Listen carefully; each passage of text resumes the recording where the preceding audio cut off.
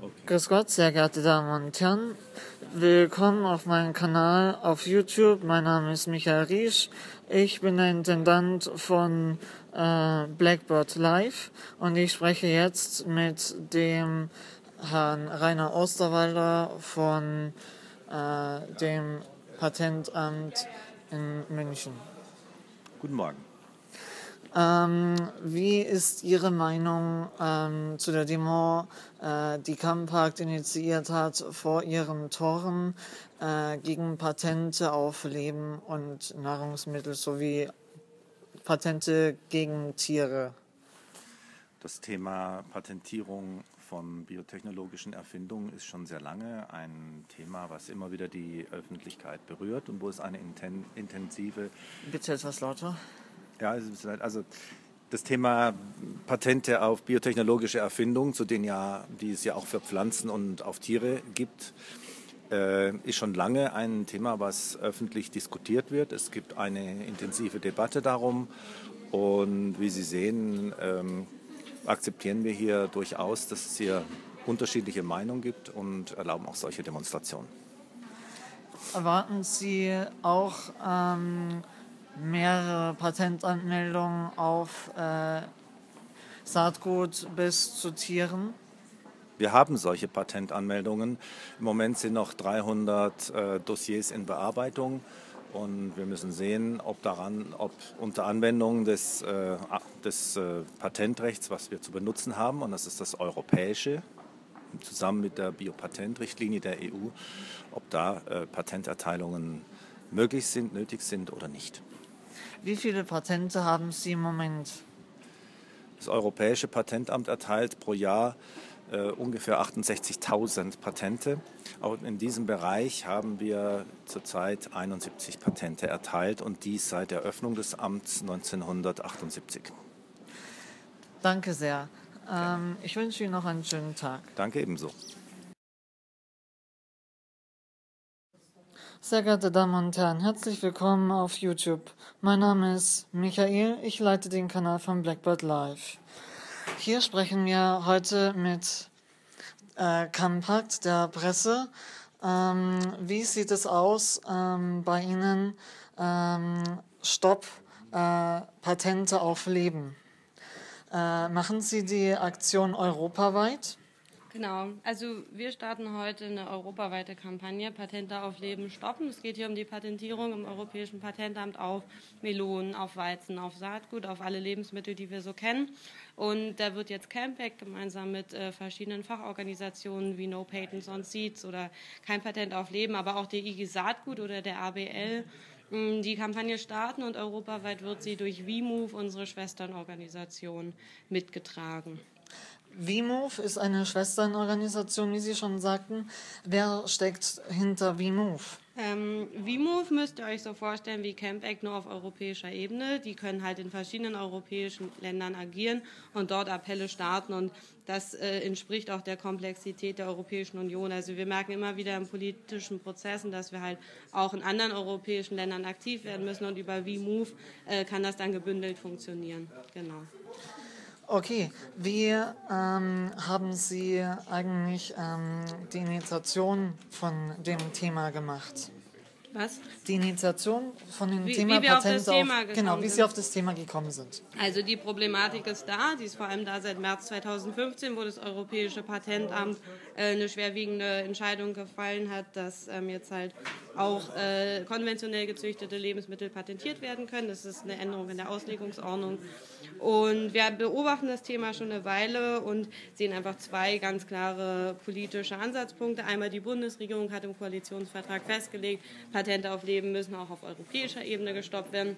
Und zuständiger Minister Heiko Maas hat sich auch ähm, nach dieser ähm, Auslegungsordnung kritisch zu dieser Patentvergabe geäußert. Und ich denke, jetzt fehlt halt der Druck der Verbraucherinnen und der Bürgerinnen in Deutschland, dass dieses Thema halt auf der politischen Agenda auch so groß wird, dass der Handlungsdruck entsteht. Was finden, was sollen, was finden Sie, was die jungen äh, User auf YouTube machen könnten, um denen noch einen Nachdruck zu verleihen, mhm. auf ihre Art und Weise? Na, ich denke, zunächst ist es wichtig, ähm, Heiko Maas mitzuteilen, dass dieses äh, Thema die Wählerinnen und Wähler interessiert. Das äh, kann erstmal dadurch geschehen, dass man den Appell unterzeichnet und dann einfach gucken, was passiert. Wir werden diese Kampagne jetzt mit vielen und zahlreichen Aktionen äh, begleiten. Wir werden immer wieder hier im Europäischen Patentamt auftauchen. Wir werden die Sitzung des Verwaltungsrats begleiten. Wir werden aber auch zu Heiko Maas nach Berlin gehen und ihm äh, zeigen, dass da Hunderttausende Bürger hinterstehen hinter dem Thema. Also Appell unterzeichnen und dann schauen, wann finden Aktionen statt in deiner Stadt. Mhm. Ja. Wo wir aber auch äh, bei international äh, nochmal zurückkommen, ähm, gibt es auch außerhalb von Deutschland Aktionen, die Campakt äh, ins Leben ruft zu dem Thema Patent auf Leben stoppen? Äh, das werden wir sehen in naher Zukunft. Ich könnte mir gut vorstellen, dass unsere Schwesterorganisation WIMOV äh, in verschiedenen europäischen Ländern Aktionen startet. Da ja jedoch das Europäische Patentamt hier in München ansässig ist, wird, denke ich, der Fokus auf München und Berlin liegen. Aber man weiß nie, wo das Thema wieder zu setzen ist. Okay, danke sehr. Ich wünsche Ihnen noch einen schönen Tag.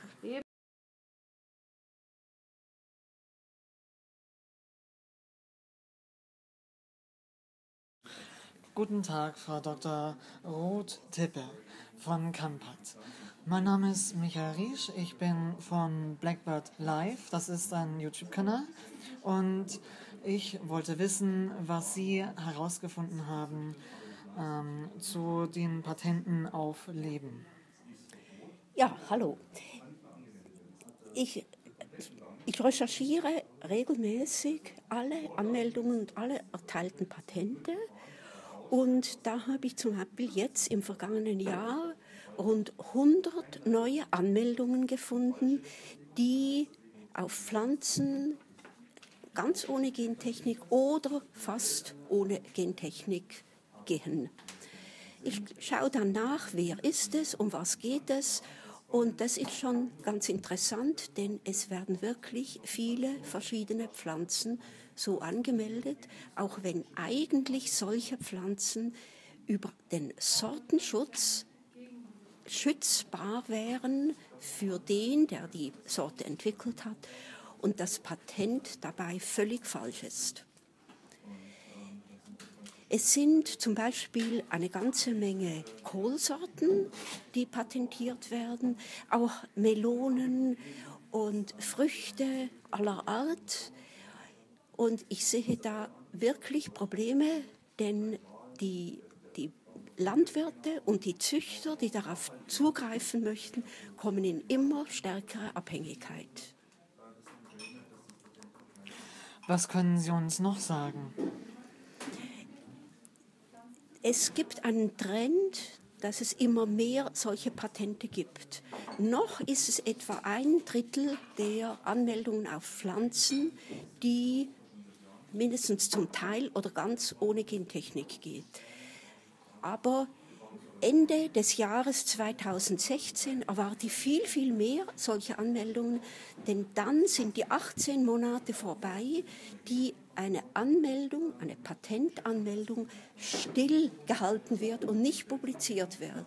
Erst dann kommen wohl all diese Anmeldungen, die schon längst vorhanden sind, und erst gegen Ende 2016, Anfang 2017 publiziert werden. Jeder Anmelder darf nämlich seine Erfindung 18 Monate lang geheim halten und kann auf dem Gebiet weiterarbeiten und braucht es nicht publizieren. Erst dann kommt es wirklich an die Öffentlichkeit. Und dann erwarte ich einen Riesenschwall von neuen Anmeldungen. Was wäre der Nachteil für die Bevölkerung bei so vielen Patentanmeldungen auf Leben? Erstens wird alles teurer, denn man meldet ein Patent an und man äh, lässt es auch, äh, ähm, also man will auch ein äh, erteiltes Patent, weil man damit ein Monopol schafft, mit dem man höhere Preise bekommen kann auf dem Markt. Die Preise sind das Erste, aber das Zweite ist die Abhängigkeit. Nur der darf das Material benutzen, der, eine, der dieses erlaubt bekommt. Das heißt, Lizenz, äh, Lizenzen bezahlt, beziehungsweise dann im, im, im Austausch Lizenzen selber dem anderen gibt. So gibt es ein System von Abhängigkeiten und Preiserhöhungen auf der ganzen Linie bei Pflanzen und Nutztieren. Dies wird dann auch nachweisbar sein, wenn man Lebensmittel bei Discountern oder bei Supermarktketten kauft. Ja, es wird sich dort ausprägen, aber es wird dort nicht gekennzeichnet sein als diese Pflanze ist patentiert. Denn auch ein Auto enthält ganz viele Patente und da steht nirgends, dass das Auto patentiert wurde. Also wissen die Konsumenten bzw. die Bürger nicht, ähm, ob sie jetzt patentierte Lebensmittel kaufen, wo die Pflanze patentiert worden ist oder nicht. Richtig, die wissen nichts davon. Und die Patentleute wollen natürlich nicht, dass so etwas öffentlich wird. Die wollen das ähm, auf jeden Fall nicht zu kennzeichnen haben.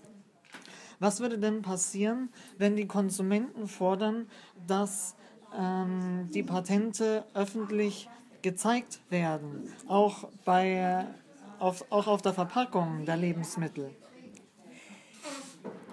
Das wäre natürlich ganz in unserem Sinne, aber ich sehe da Riesenhürden, weil dann würden diejenigen, die Pflanzen patentieren, sagen, warum müssen wir so benachteiligt werden? Alle anderen, die andere, und zwar richtige technische Patente haben, die müssen das nicht anzeigen und wir müssen es.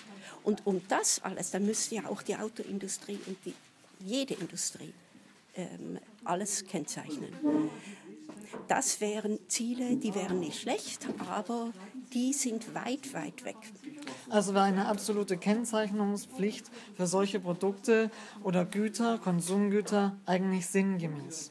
Wären sinngemäß, völlig richtig, ja. Ich danke Ihnen, Frau Dr. Ruth Tippe. Bitte, wünsche danke Ihnen noch einen auch. schönen Tag.